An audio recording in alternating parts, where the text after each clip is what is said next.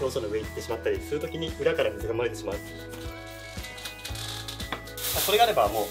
簡単なので使った方がい。い。かなと思い。ます、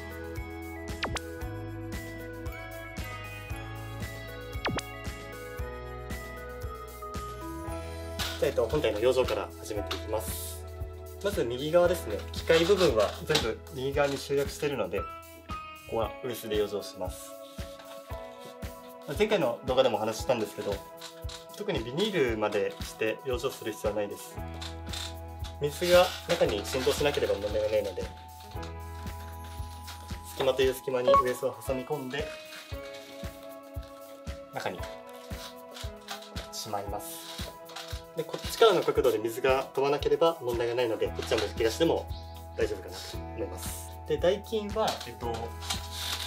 下に隙間があってで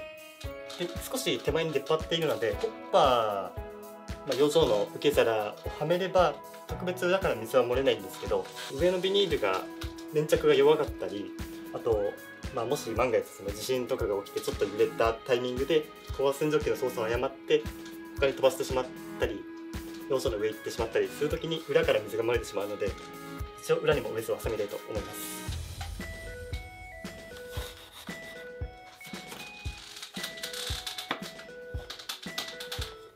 特に珪藻土漆喰とか塗り壁系これは多分ペンキなので大丈夫だと思うんですけど水が濡れたらアウトな壁の時はもう必須ですね。で次マスカラです。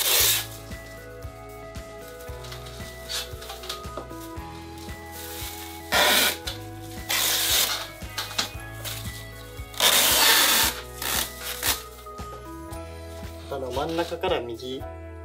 穴から右側から始まって一周して左寄せで止める。この幅結構大事になってくるので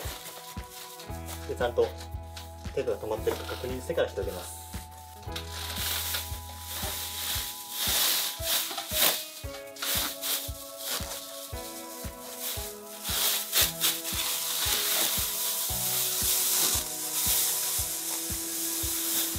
あとはホッパーをかけるだけです。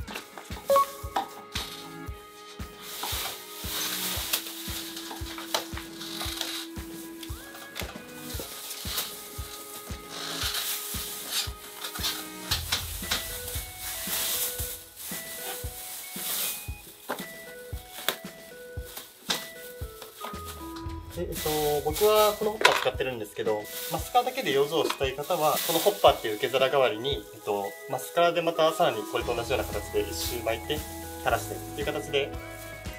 まあ、養生する方もいますね。これがあればもう簡単なので使った方がいいかなと思います、まあ、おすすめです。で粘着の弱いマスキングテープでこれを固定していくんですけど壁がこれ塗装ペンキなので素材だとテープが剥がしちゃうことがあるのでそういう時はこういうところに貼り付けて固定させるのもいいんですけどこれは今回大丈夫なのでここで固定してやっていきたいと思います。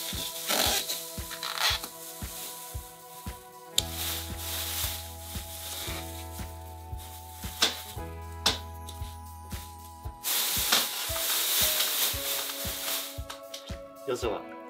これで以上になります。